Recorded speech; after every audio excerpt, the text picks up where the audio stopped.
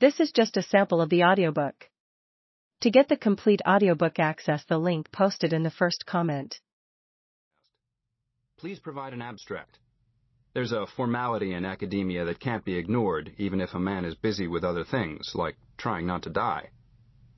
By mid-August, I was told that a poster for the lecture had to be printed, so I'd have to decide on a topic. That very week, however, I got the news. My most recent treatment hadn't worked. I had just months to live. I knew I could cancel the lecture.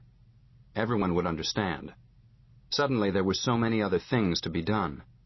I had to deal with my own grief and the sadness of those who loved me. I had to throw myself into getting my family's affairs in order. And yet, despite everything, I couldn't shake the idea of giving the talk. I was energized by the idea of delivering a last lecture that really was a last lecture. What could I say? How would it be received? Could I even get through it? They'll let me back out, I told my wife, Jai, but I really want to do it. Jai had always been my cheerleader. When I was enthusiastic, so was she. But she was leery of this whole last lecture idea. We had just moved from Pittsburgh to southeastern Virginia so that after my death, Jai and the kids could be near her family. Jai felt that I ought to be spending my precious time with our kids, or unpacking our new house, rather than devoting my hours to writing the lecture and then traveling back to Pittsburgh to deliver it. Call me selfish, Jai told me, but I want all of you. Any time you'll spend working on this lecture is lost time, because it's time away from the kids and from me. I understood where she was coming from. From the time I'd gotten sick, I had made a pledge to myself to defer to Jai and honor her wishes.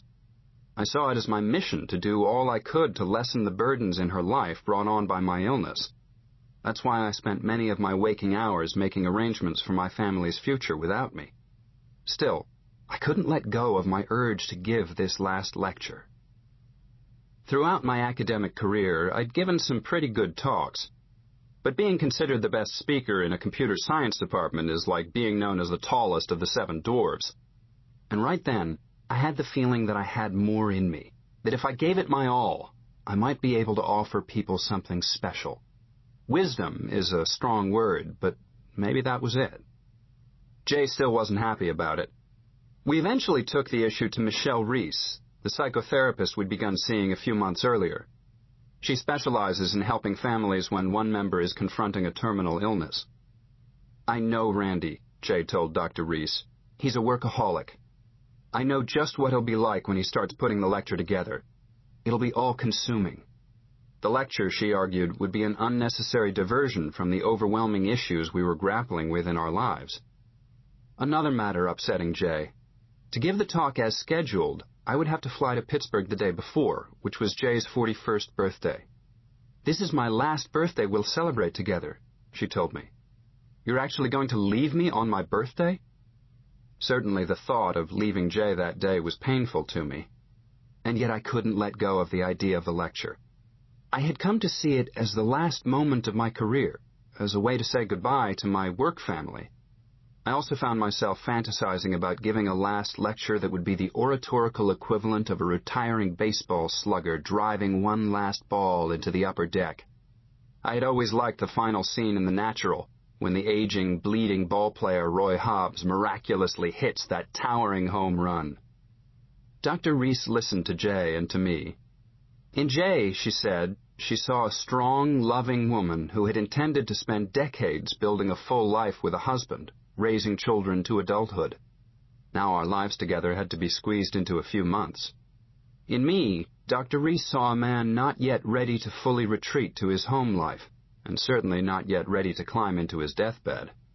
This lecture will be the last time many people I care about will see me in the flesh, I told her flatly. I have a chance here to really think about what matters most to me, to cement how people will remember me, and to do whatever good I can on the way out. More than once, Dr. Reese had watched Jai and me sit together on her office couch, holding tightly to each other, both of us in tears.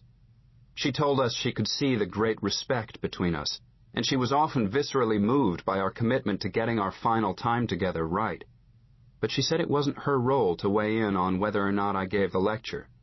You'll have to decide that on your own, she said, and encouraged us to really listen to each other so we could make the right decision for both of us.